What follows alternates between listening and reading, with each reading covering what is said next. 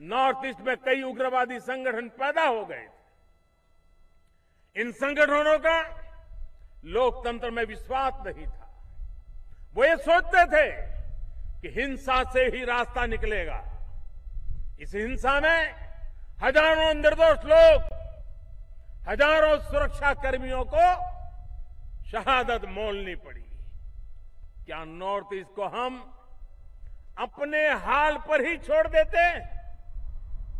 क्या अपने उन भाई बहनों की परेशानियों से, उनकी दिक्कतों से ऐसे ही मुँह फेर करके बैठ जाते?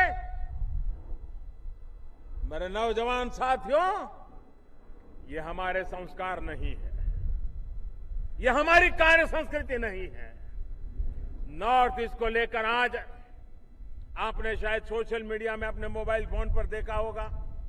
शायद अखबार देखने का मौका मिला होगा, टीवी देखने का मौका मिला होगा, मीडिया में भी देखा होगा।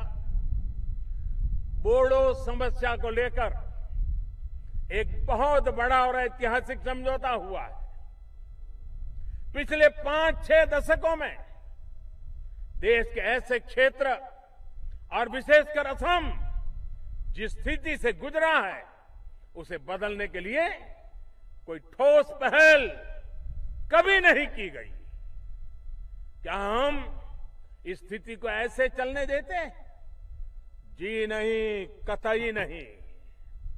हमने एक तरफ़ नॉर्थ ईस्ट के विकास के लिए अभूतपूर्व योजनाओं की शुरुआत की और दूसरी तरफ़ बहुत ही खुले मन और खुले दिल के साथ सभी स्टेक होल्डर्स के साथ बातचीत शुरू की।